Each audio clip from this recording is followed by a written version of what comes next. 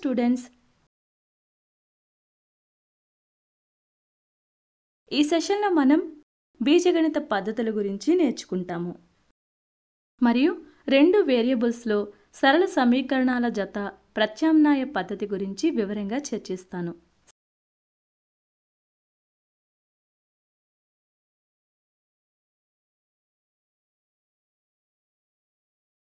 Session యొక్క అభ్యాస ఫలితాలను చూద్దాం. శిక్షణ లక్ష్యాలు. ఈ సెషన్ పూర్తయిన తర్వాత మీరు అర్థం చేసుకోగలరు. ప్రత్యామ్నాయ పద్ధతి యొక్క పద్ధతి. ప్రత్యామ్నాయ పద్ధతి ద్వారా రెండు వేరియబుల్స్లోని జంట సరళ సమీకరణాల ఉదాహరణ సమస్యలను పరిష్కరించడానికి. ప్రత్యామ్నాయ పద్ధతికి సంబంధించిన నిజ జీవిత సమస్యలను పరిష్కరించడానికి. కీలక పదాలు సరళ సమీకరణాలు. ప్రత్యామ్నాయం. బీజగణిత పరిష్కారాలు.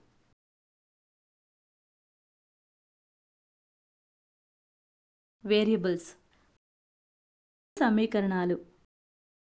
పరిష్కారం. Square root two comma three by two. Minus one by two. One by two. Square root five. Square root of seven. మొదలైన వాటి రూపంలో ఉందని అనుకుందాం. పరిష్కారం యొక్క బిందువుల కోఆర్డినేట్లు పూర్ణాంకాలు కానివి అయినప్పుడు గ్రాఫికల్ పద్ధతి అనుకూలమైంది కాదు. అనేక బీజగణిత పద్ధతులు ఉన్నాయి. ప్రత్యామ్నాయ పద్ధతి మరియు తొలగింపు పద్ధతి ఉన్నాయి.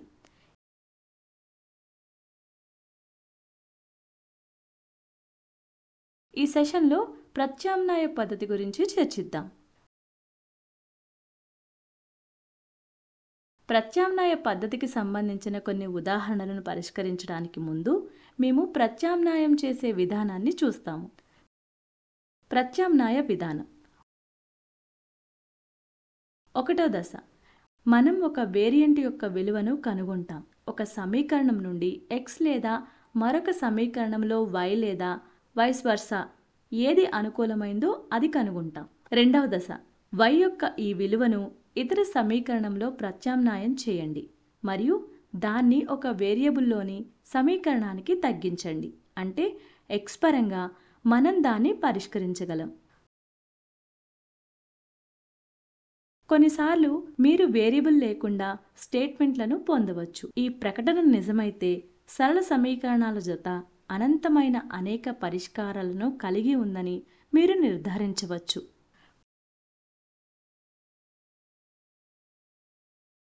ప్రకటన తప్పైతే సరళ సమీకరణాల జత అస్థిరంగా ఉంటుంది. మూడవ దశ. ఇతర వేరియబుల్ విలువను పొందటానికి ఒకటో దశలో ఉపయోగించిన సమీకరణంలో రెండవ దశలో పొందిన ఎక్స్ లేదా వై విలువను ప్రత్యామ్నాయం చేయండి. ప్రత్యామ్నాయ పద్ధతి గురించి మరింత తెలుసుకోవడానికి మరిన్ని ఉదాహరణలను పరిశీలిద్దాం. ఉదాహరణకి ఇచ్చిన జత సమీకరణాలను ప్రత్యామ్నాయ పద్ధతిలో పరిష్కరించండి. Five x minus y is equal to twelve. Two x minus three y is equal to four. పరిష్కారం. సమీకరణాల జతను ఇలా పరిగణించండి. Five x minus y is equal to twelve two x minus three y is equal to four ఒకటవ దశ. మనకు లభించే ఒకటవ సమీకరణాన్ని పరిగణించండి. Five x minus y is equal to twelve y పరంగా సమీకరణాన్ని వ్రాస్తే five x minus twelve is equal to y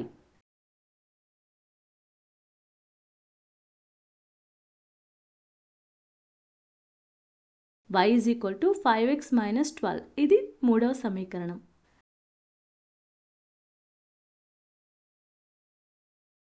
రెండవ దశ. సమీకరణం రెండులో సమీకరణం మూడు విలువను ప్రత్యామ్నాయం చేయండి. మనకేం లభిస్తుంది?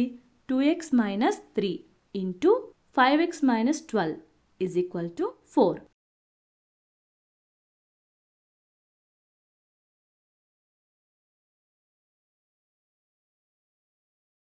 2x minus 15x plus 36 is equal to 4.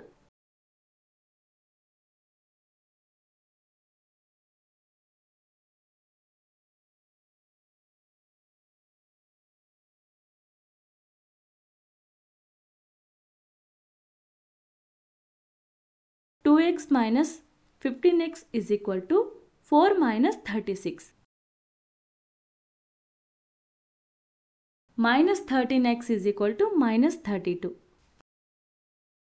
finally x is equal to thirty two by thirteen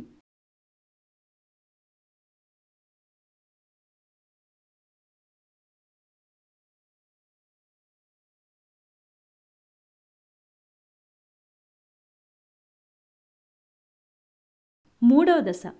X యొక్క ఈ విలువను సమీకరణంలో మూడు ప్రత్యామ్నాయం చేస్తే మనకి లభిస్తుంది.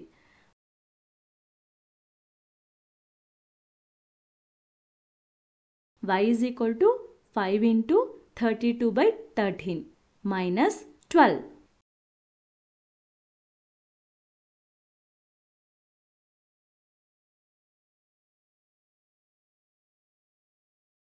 ఎల్సిఎంని ఉపయోగించి one sixty minus one fifty six by thirteen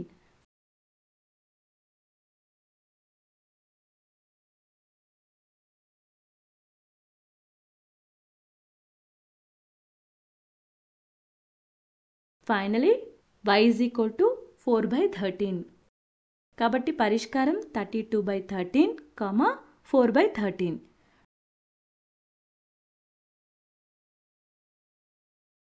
ఇంకొక ఉదాహరణ చూద్దాం.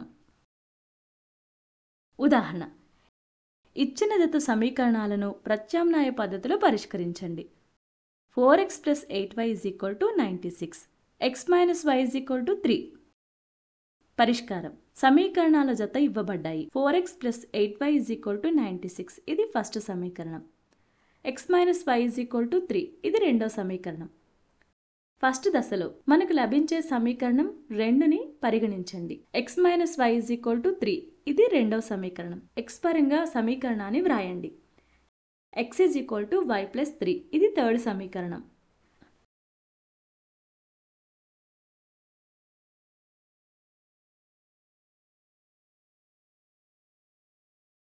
రెండవ దశ. సమీకరణం ఒకటిలో సమీకరణం మూడు విలువను ప్రత్యామ్నాయం చేయండి. మనకేం లభిస్తుంది? Four into y plus three plus eight y is equal to ninety six.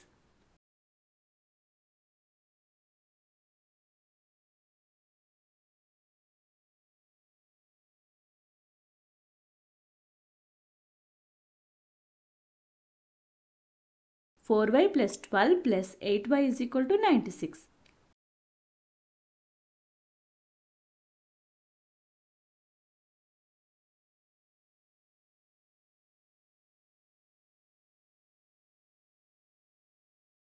Four y plus eight y is equal to ninety six minus twelve twelve y is equal to eighty four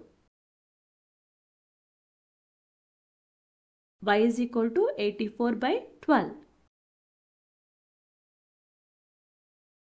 So finally y is equal to 7.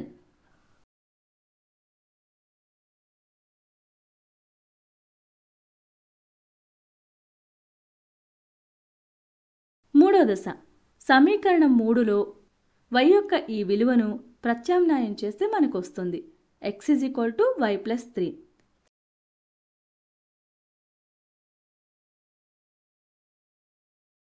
seven plus three ten so x is equal to ten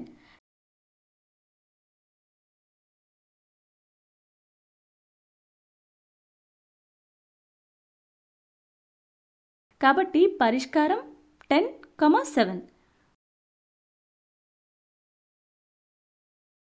రెండు వేరియబుల్స్లో జత సరళ సమీకరణాలు ఏర్పడినప్పుడు ప్రత్యామ్నాయ పద్ధతిని ఉపయోగించే కొన్ని నిజ జీవిత సమస్యలను చూద్దాం.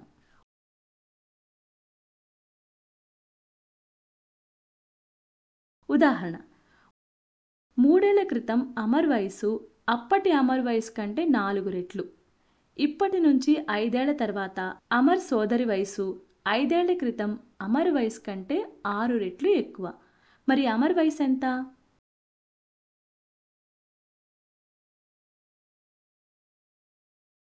పరిష్కారం. ఇప్పుడు అమర్ వయసు ఎక్స్గా ఉండనివ్వండి. మరియు అమర్ సోదరి వయసు వై మూడేళ్ళ క్రితం అమరు వయసు కంటే నాలుగు రెట్లు ఎక్కువ. ఇప్పుడు పొందిన సమీకరణం y minus three is equal to four into x minus three ఇది ఒకటవ సమీకరణం. Four x minus y is equal to nine ఇది మూడవ సమీకరణం.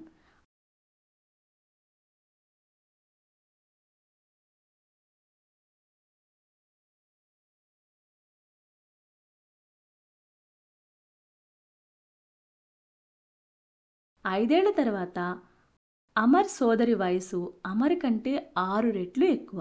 అంటే y plus five is equal to six into x minus five ఇది రెండవ సమీకరణం. Six x minus y is equal to thirty five ఇది నాలుగవ సమీకరణం. మనకు జత సమీకరణాలు ఉన్నాయి. Four x minus y is equal to nine ఇది మూడవ సమీకరణం. Six x minus y is equal to thirty five ఇది నాలుగవ సమీకరణం. మొదటి దశ. మనకు లభించే మూడవ సమీకరణాన్ని పరిగణించండి. Four X minus Y is equal to nine Y is equal to four X minus nine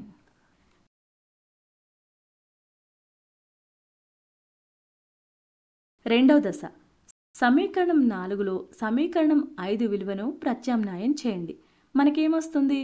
Six x minus y is equal to thirty five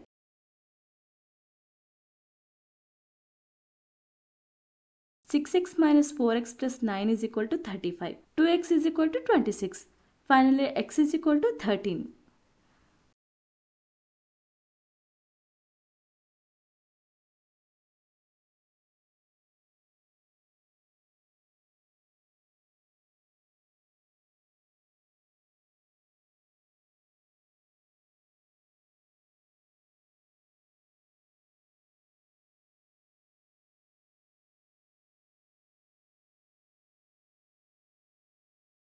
మూడవ దశ. ఎక్స్ యొక్క ఈ విలువను సమీకరణం ఐదులో ప్రత్యామ్నాయం చేస్తే మనకేమొస్తుంది? Y is equal to four x minus nine four into thirteen minus nine fifty two minus nine so y is equal to forty three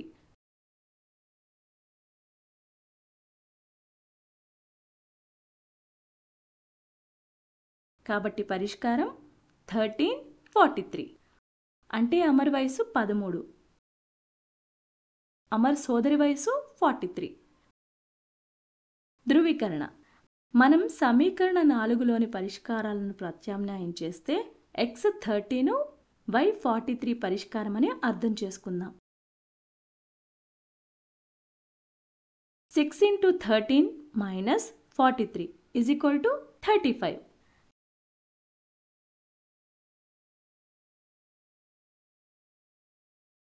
కాబట్టి ఎడంవైపు సమీకరణం కుడివైపు సమీకరణానికి సమానం. అదేవిధంగా మేము సమీకరణం మూడులో పరిష్కారాలను ప్రత్యామ్నాయం చేస్తే మనకు లభిస్తుంది. Four x minus y is equal to nine. Four into thirteen minus forty three. Fifty two minus forty three. Finally nine.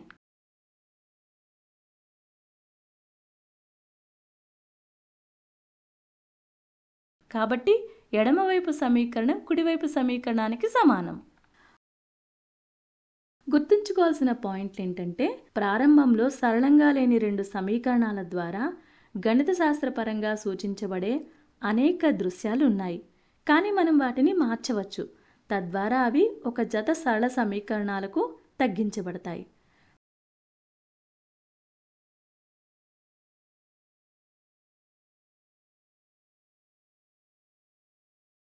ప్రత్యామ్నాయ పద్ధతి బీజగణిత పద్ధతి. సరళ సమీకరణాల జతను పరిష్కరించడానికి మేము ఒక వేరియబుల్ విలువను మరొక వేరియబుల్ పరంగా వ్యక్తీకరించడం ద్వారా ప్రత్యామ్నాయం చేస్తాం. అందుకే ఆ పద్ధతిని ప్రత్యామ్నాయ పద్ధతి అంటారు.